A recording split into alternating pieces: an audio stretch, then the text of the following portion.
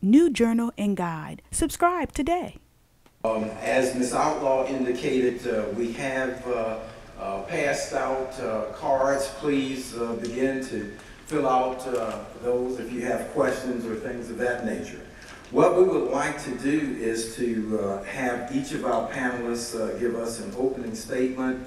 And as it was indicated to us, we're so pleased to have Mr. Merrick Malone with us.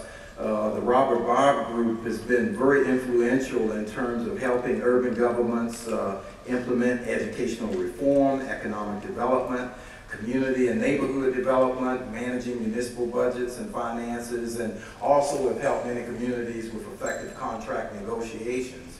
Uh, Mr. Malone has a very, very diverse background, having been the uh, deputy mayor in Washington, D.C., and has had responsibilities uh, related to community development as well as economic development. So, uh, Mr. Malone, if you could give us an opening statement, and we're certainly pleased to have you here this afternoon. opening statement, running for something, running from. Um, good afternoon. Um, I'm obviously uh, not Robert Bobb. Um, I asked him why I had to do this. He said because his name is on the door. Uh, but um, I think one of the things that I can truthfully say is I have, uh, when you get old enough, you are able to see all of the things that have occurred in this, the theme of this particular uh, forum. I have seen the sins of the past. I've also seen and, and the things that should have been done, the mentality of we never saw a, uh, a surplus we didn't want to spend. We, uh, you know, we had a, a, a, mentality back then. I actually worked for, I was one of Coleman Young's youngest department heads, and I can remember once telling him that what we ought to do with HUD, looking at the uh, expenses, was to give it back to the federal government.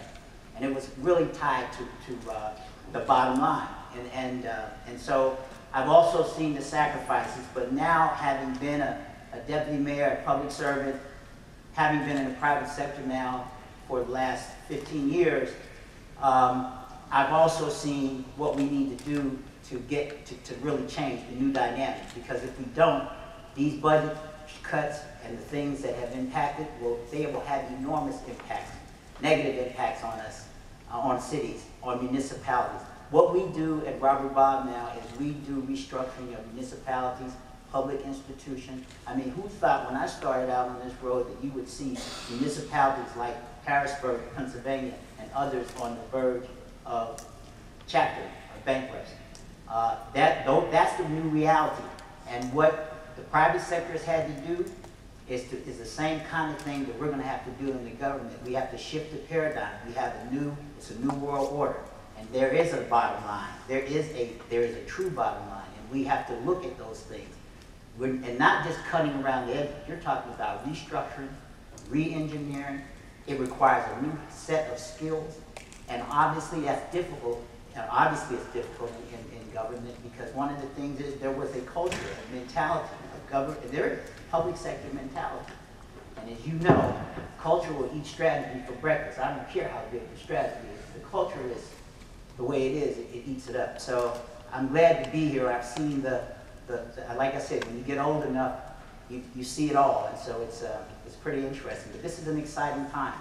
If you look at what corporations have done and why there are a lot of them sitting on so much cash, because they have taken the downturn and, and restructured themselves to be able to take advantage of what Rahm says is a, never, never not take advantage of a crisis.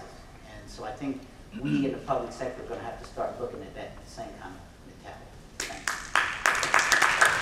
This production has been brought to you by Image Entertainment.